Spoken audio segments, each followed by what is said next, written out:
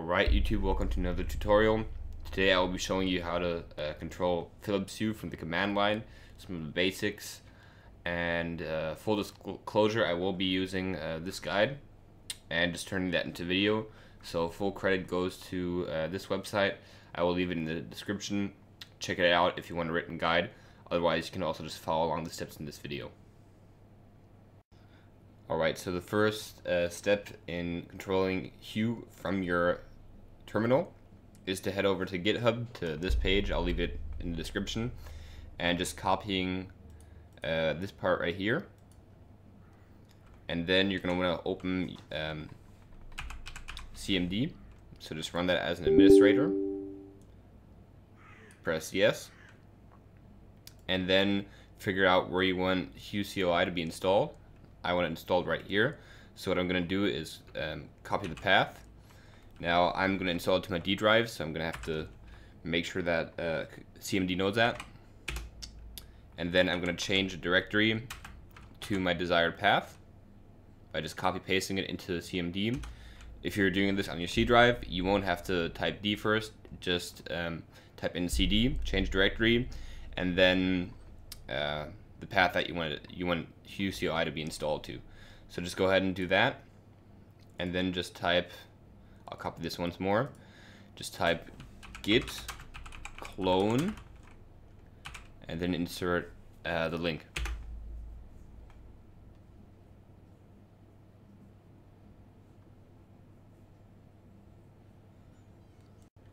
Alright, so once uh, CMD has successfully cloned um, this repository, you should see a folder uh, called HueCLI and just navigate to that folder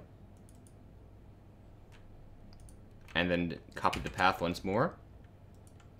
Go back to your CMD window and just type in, well in my case I have to type the drive letter first and then just type in CD for change directory and then insert your path and then type in dot net restore.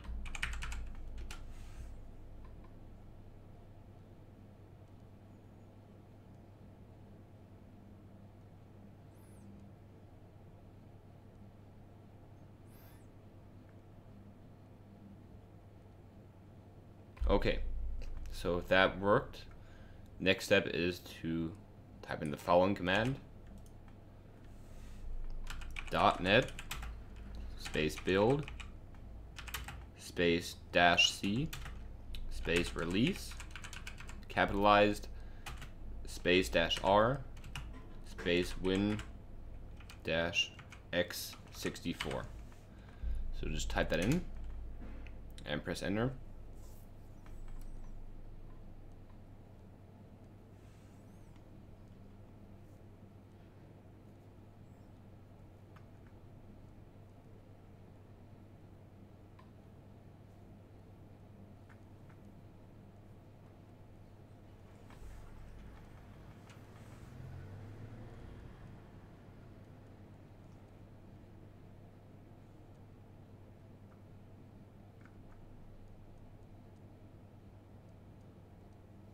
Alright, so as you can see my build succeeded.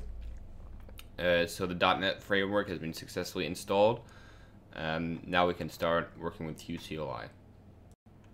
Okay, so next step is to just step inside of this folder. Go to bin, release, netcore app, win-x64. Uh, so just follow this path and then copy this path, which contains the Hue CLI executable file. And then just run cmd as an administrator again. And type in cd and the path. And the best way to check whether or not Hue CLI works is to just type in Hue CLI. And as you can see, I have a list of available, available commands, which means that this installation so far has worked. Alright, so the next step is to simply type in hue CLI space scan dash hubs. Now this may work for some of you, um, but for some of you it won't.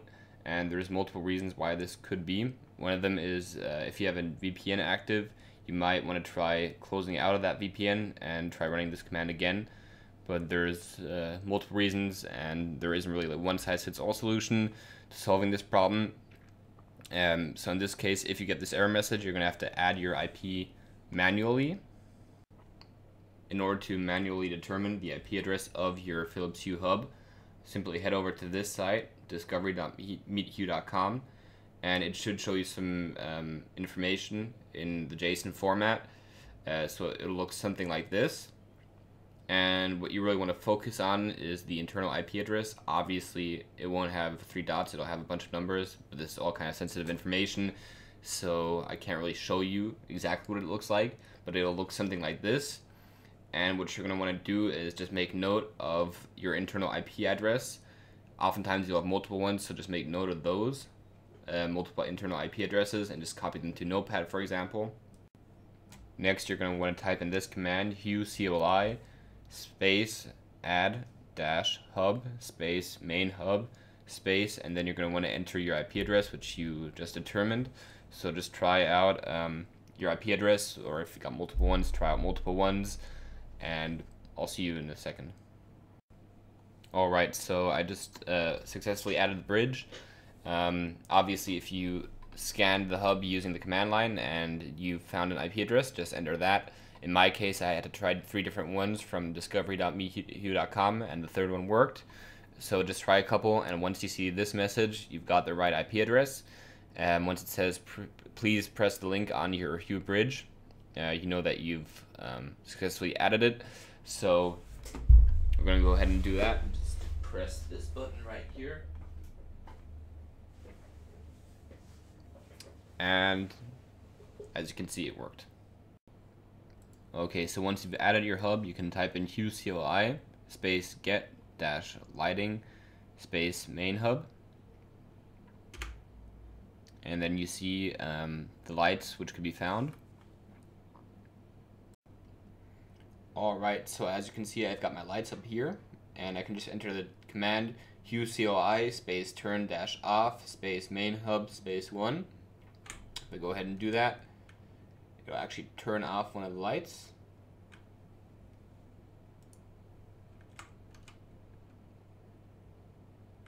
And I can do the same for the second light.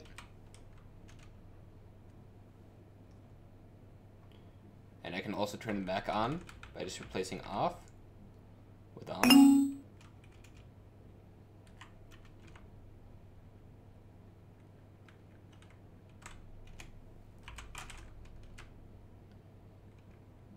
So that's just one example. Now another thing I can do is just set the brightness anywhere between 0 and 254. So if I set it to 50, it's going to be fairly dim. Do the same for the second one.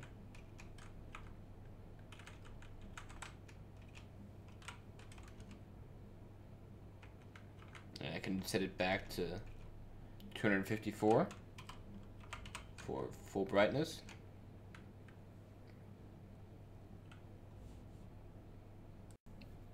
Alright, so as you can see right here, um, I have a basic script which just goes to show how powerful uh, this tool can be for home automation.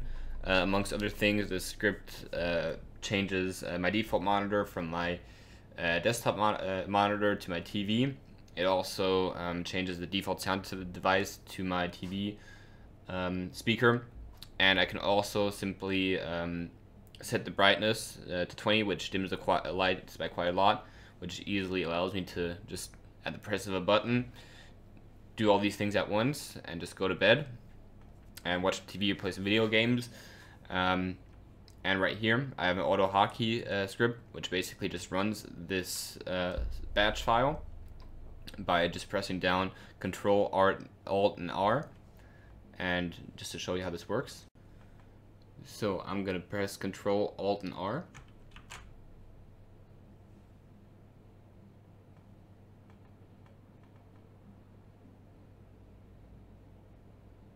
And as you can see, that definitely dimmed the lights. Alright guys, that's it for the video.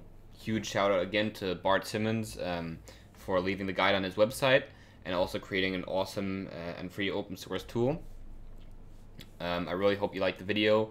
Uh, if you did, please consider leaving a like and also consider subscribing in case you're interested in seeing more videos like this in the future.